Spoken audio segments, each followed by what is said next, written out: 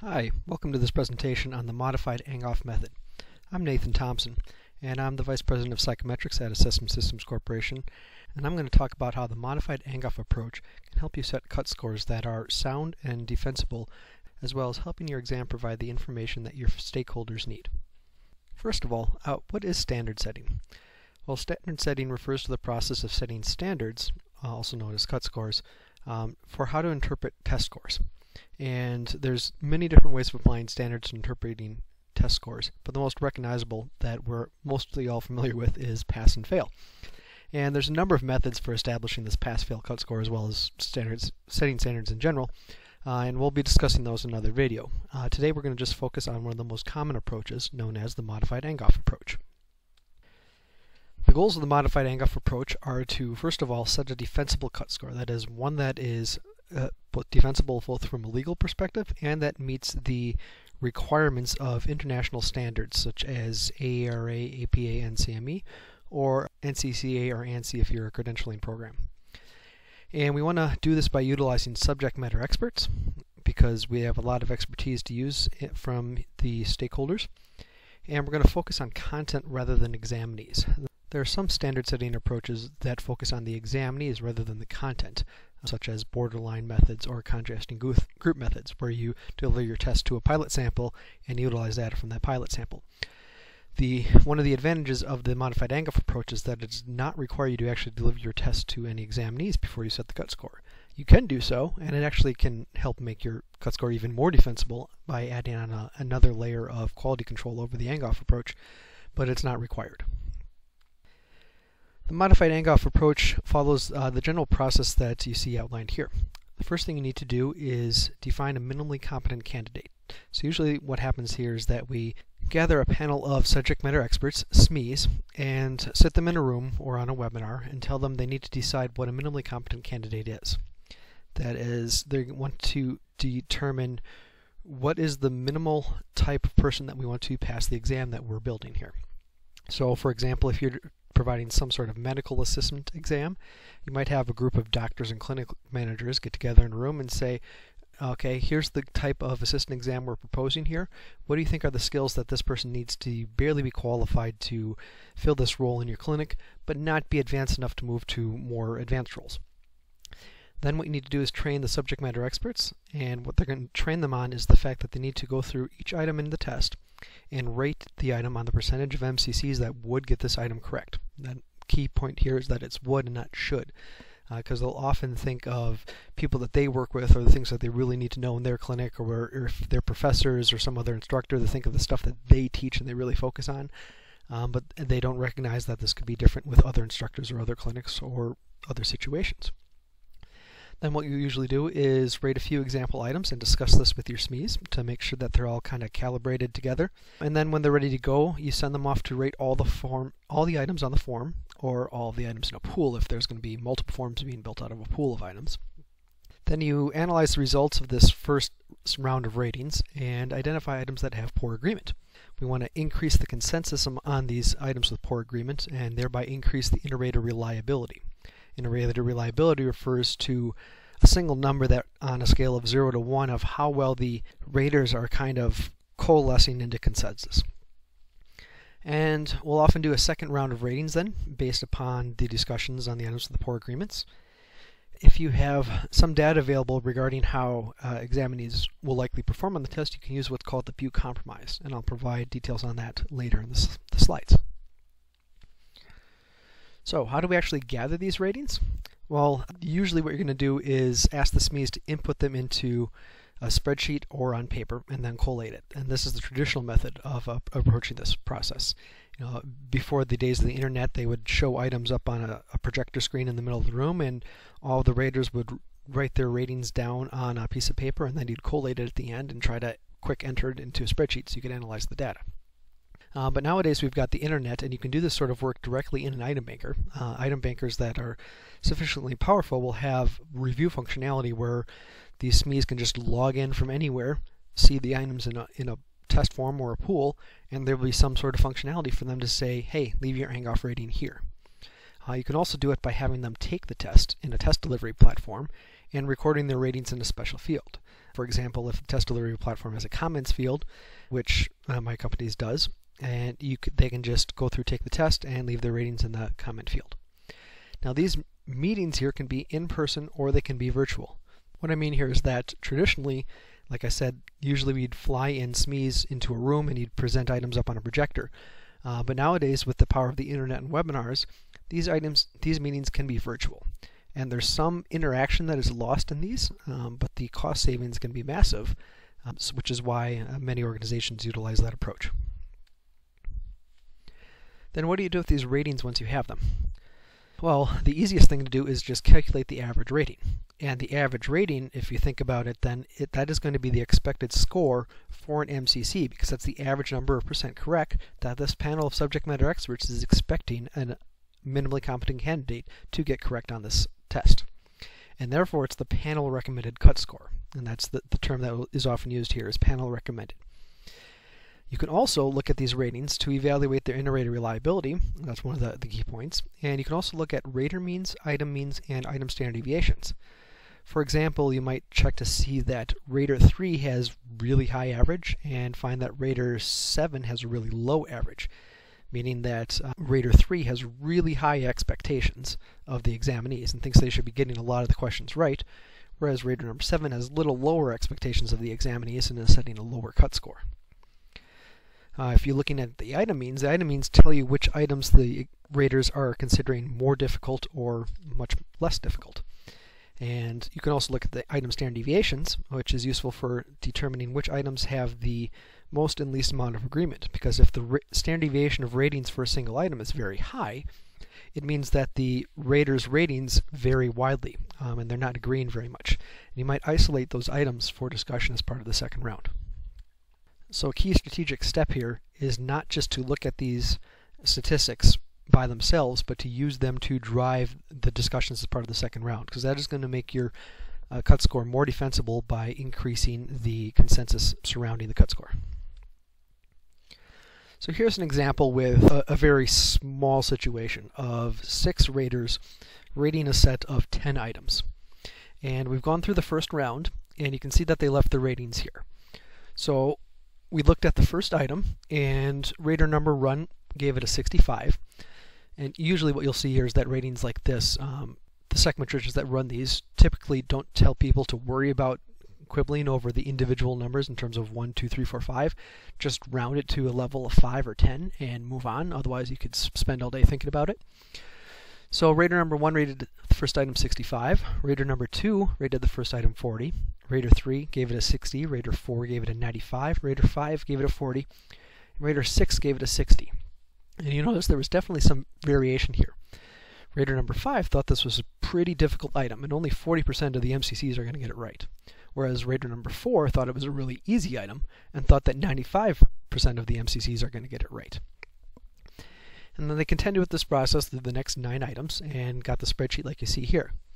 And if you were to calculate the average of all these ratings, it comes out to being a cut score of 6.58 out of 10 points. And the inter-rater reliability out of this is 0.312, which if you're familiar with reliability indices, 0.312 is not very strong. So then let's suppose we isolated a couple items out of this that required some further discussion, and we got some raters to change the ratings as part of uh, that process. So here's the results of round two, and just to keep it simple here, we only changed three ratings out of uh, the 60 that you see in the grid. Uh, rater number 4 is rating to item number 1, which went from a 95 down to a 65.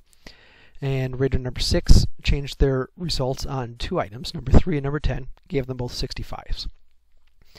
And you can see here that it hardly affected the cut score at all. The cut score only changed to 6.52. However, the uh, inter-rater reliability is now 0.684. That's more than double what it was on the previous screen, even though we only changed three ratings out of the grid of 60 which shows you how much leverage is provided by ratings that are out of line with everybody else's. That also shows just how useful this two-round approach is to providing greater consensus regarding your cut score. By taking the, you know, 10, 20 minutes even just to give feedback on these three items and have three ratings change, not even amongst all six raters, just two raters, one changes one rating, one changes two ratings, greatly increased our inter-rater reliability.